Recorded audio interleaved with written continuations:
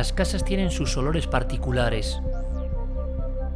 Es como una memoria, como una membrana, algo que quedó allí para siempre, algo que sigue ahí para siempre.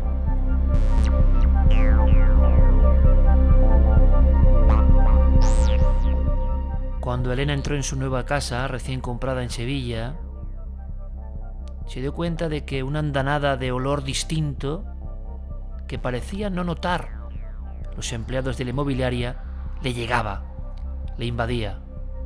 ¿Cómo definir ese olor? Olor a rancio.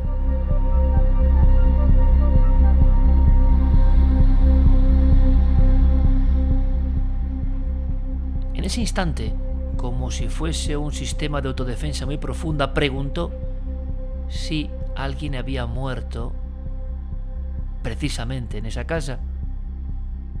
Y con cierto disimulo, porque nunca gusta a los empleados que venden hogares contar estas cosas, dijeron que sí.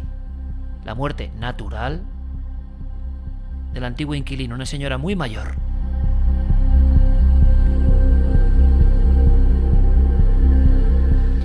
Muchas veces el olor a rancio se marchaba, abandonaba los pasillos, la cocina, el baño, y se concentraba solo en un punto, el viejo dormitorio.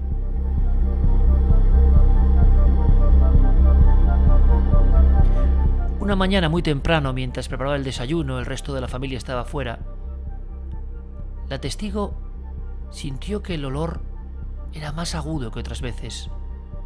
Un olor a humedad, a madera vieja, a ropas cerradas en un armario mucho tiempo.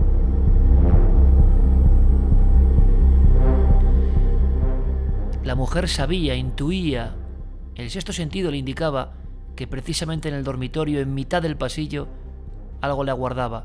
Y fue muy despacio. Escuchamos casi sus zapatillas de casa, andando como en una nube para no hacer ruido. Cuando miró, se dio cuenta de que en la cama había alguien, una mujer enlutada, con los ojos abiertos mirando al techo. Parecía un velatorio.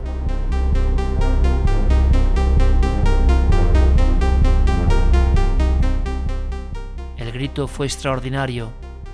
Salió corriendo de allí, pero antes pudo observar cómo eso poco a poco se iba desvaneciendo.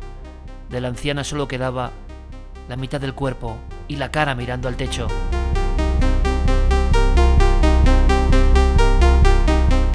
Un velatorio tal y como se produjo realmente 25 años antes.